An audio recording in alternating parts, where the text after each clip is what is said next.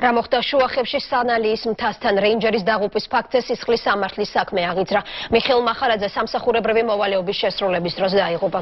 შუახევის რაიონის სოფელ მიხალკაძეებისკენ მიმავალი მანქანა, რომელშიც რეინჯერი ჯდა სანალიის მთასთან ხრამში გადავარდა. ავარიას გადარჩენილი მძღოლი საჭესთან ჯდომას უარყოფს და აცხადებს, რომ საჭესმა ავტოსაგზაო შემთხვევის დროს მიხელ მახარაძე მართავდა, რომელიც ნასვამ მდგომარეობაში იმყოფებოდა, თუმცა დაღუპულის თანასოფლელებს ამ ვერსიის არ სჯერათ. ვთქვათ.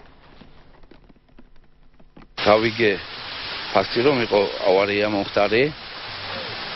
და ავარიის შედეგად თვითონ მანქანაში ისდა და გვეკდარი იყო ჩვენი მეცხვე.